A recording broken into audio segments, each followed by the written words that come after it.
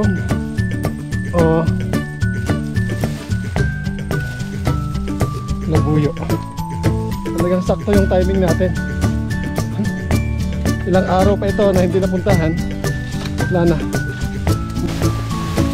Mas matataas na sa akin yung mga damo.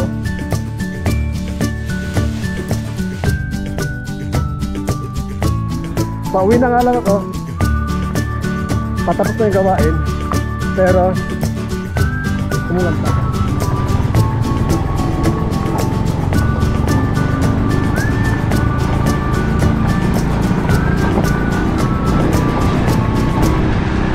tayo ngayon ay pupunta sa bukid.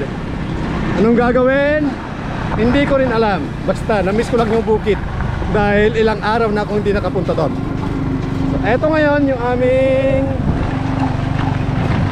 ah, sakahan dito sa lugar na to so dito sa part na to ay kamote ang tanim.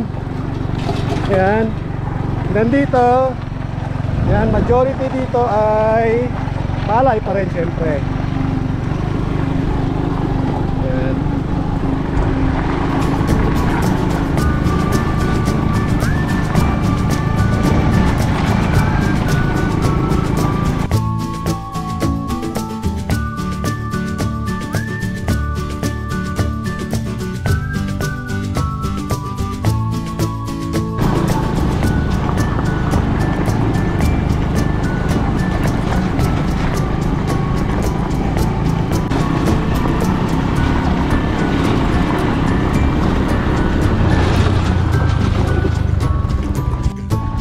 Dito naman, yan, kung mapapansin nyo, meron silang tanim na palay. Yan, red rice ito, malamang, o brown rice. No? so common na nagtatanim ay sa mga bundok sa malayo. Bakit sa malayo sila nagtatanim? Para hindi dumugin ng mga maya. Pero to parang sa palaran ito ng pagtatanim, no, sinubukan lang nila kung magiging successful. Ayan. So, tingnan din natin sa mga susunod na buwan kung ano magiging development nito.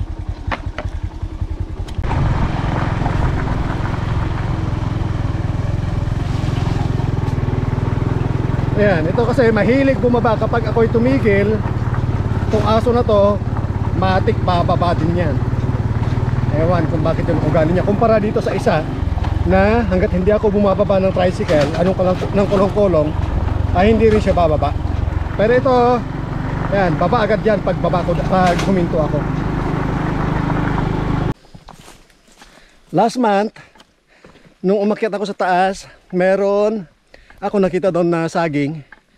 Latundan nga lang, hindi lakatan, na baka ngayon ay pwede nang anihin. Hindi ko alam kung pwede na or nasobrahan na. Kasi most of the time kapag ako kapag ako ay pupunta dito sa bukid, dito lang sa baba. Ah. Ito yung paper tree, Milina. Dalawa yan dati magkatabi pero natumba yung isa noon.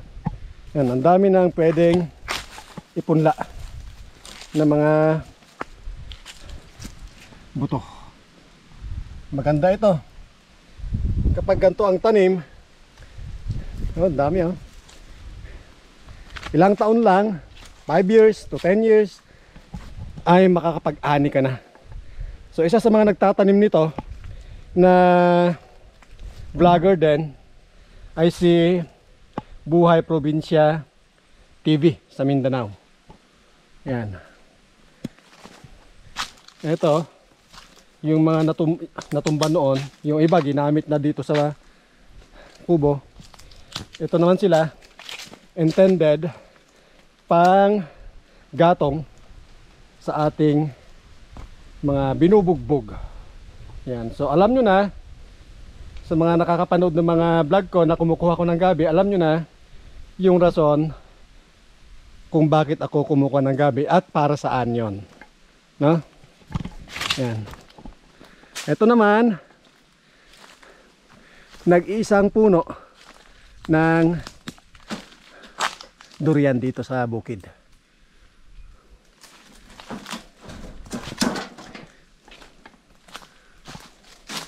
Wala pa yata siyang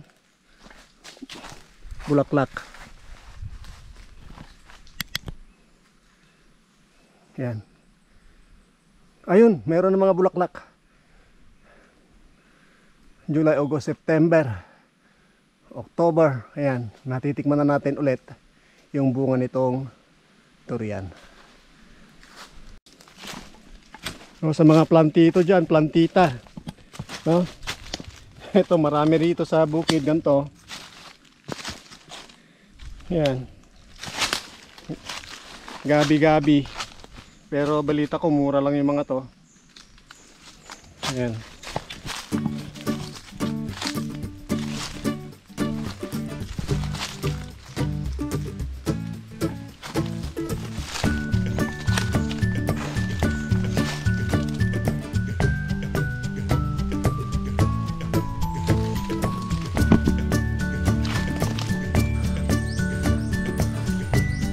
Ito maganda sa bukid, no? Gusto mo talaga ng peaceful. Gusto mo mag-relax kasamang nature. Ayan, no? Ang maririnig mo lang hangin at mga ibon. Ayun, no? Lakatan.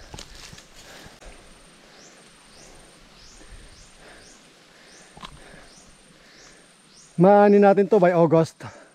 Yan. Kaso hindi ko kasi masyadong nalagaan to sa parting taas. Kinakailangan mag-desuckering tayo para mabawasan. Yan.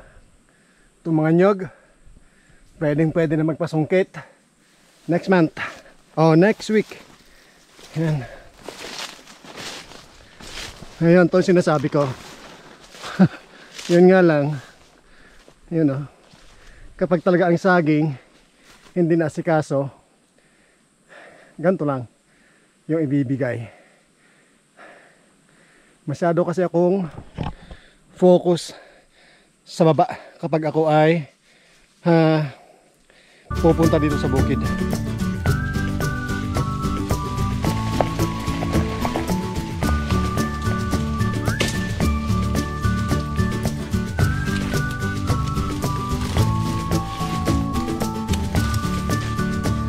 Masarap, mahirap ang umakyat sa bukid. Mahirap, nakakapagod. Pero kagandahan nito, yung katawan natin, pinagpapawisan at na-exercise. Lalo, kapag nasa taas ka na, habang namamahinga, ay pinagmamasdan mo sa baba. Yan. So, pati itong dalawa, pagod din, no? Ayan. Tapos yun. Talagang sakto yung timing natin. Ilang araw pa ito na hindi napuntahan. Wala na. Bubulok na. Kusa na siya natumba.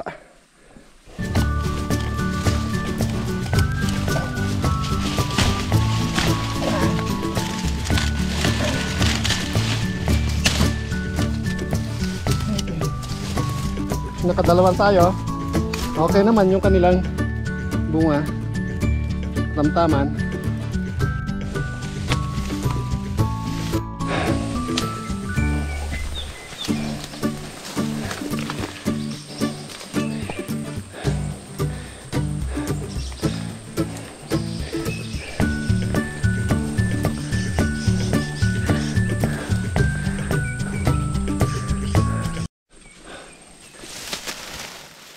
Kaya to?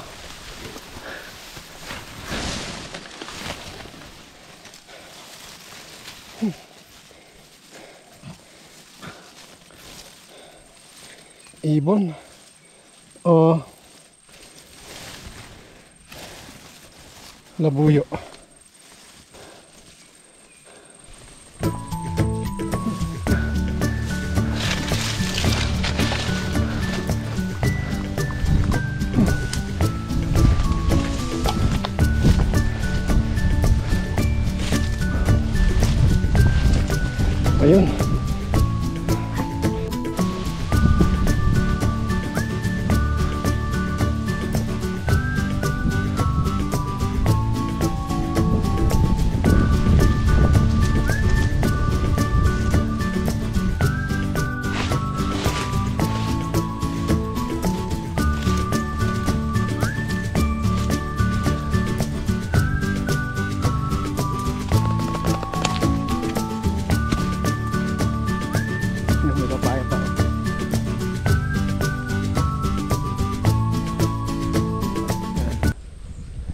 Dito sa part na ito, ito yung part kung saan ibinababa dito sa part na ito yung mga nyog. Ito yung pinakamalayo na pinanggagalingan ng nyog natin. At ito, may kaliitan yung mga nyog dito. Yan. Pero kahit paano kapag dumami ang nyog sa mga gantong buwan, kahit paano nakaka 1,000 plus sila rito. Pieces, mahigit sa part na ito.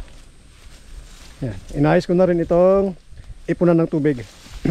Kasi saktong-sakto, kita nyo, napasuk, napakasukal na. May gagamitin ulit tayo pang spray.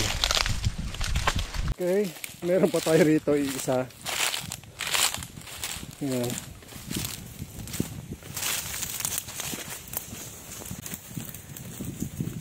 Ayan o, saktong-sakto din yung ating timing.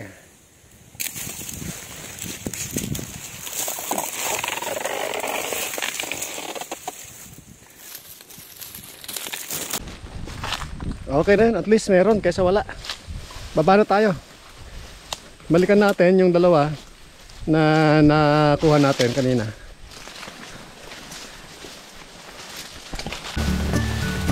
Mas matataas na sa akin yung mga damo.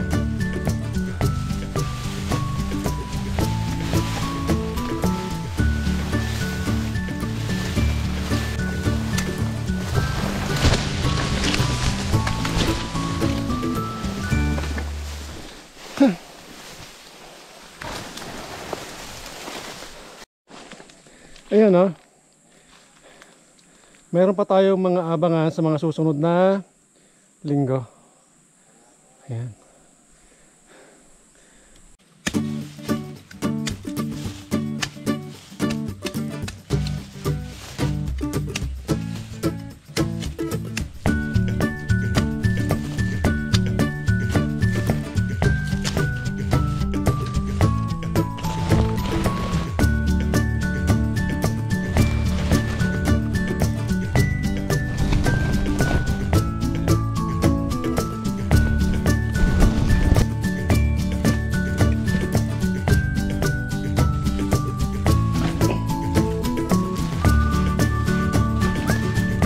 Siyempre, bago umuwi, dahil wala na tayong pagkain ng mga alaga natin, obligado, kumuha tayo ng bubugbugin. Yan. Ito yung mga gabing San Fernando, ang tawag sa amin dito. Yan. So, dalawang variety po ito. Ito yung may medyo kulay violet. And then yung iba ay green lang. No? Itong kulay green lang, yung tangkay, ito yung puti, yung laman. Yung mas madaling madurog kapag hinalo mo siya sa nilagang baboy.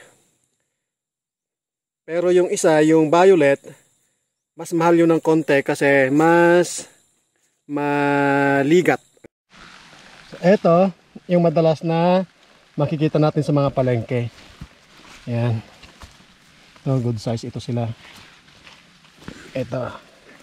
Ayan. Ito, pwede pa rin to. Kung talagang walang-wala na, bibilhin pa rin yan. Ito yung mga good size. Pag nagmahal dito sa amin, ang gantong gabi, umabot ng 30 per kilo. Pero sa ngayon, walang buyer ngayon. Ayan, kaya ganito na lang ang silbi ng gabi. Iuwi yung iba, iuwi sila, then pang sahog-sahog sa gulay, ito, And then to sila tatadta rin, lilinisan, papakain uli sa ating mga alaga.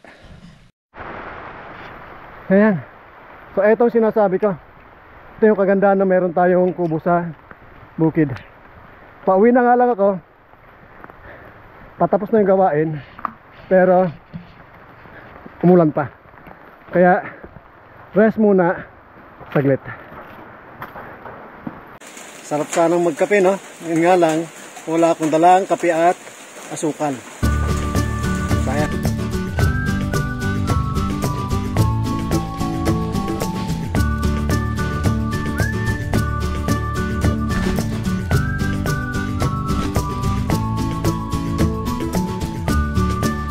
Ayan, to lahat yung ating nakuha.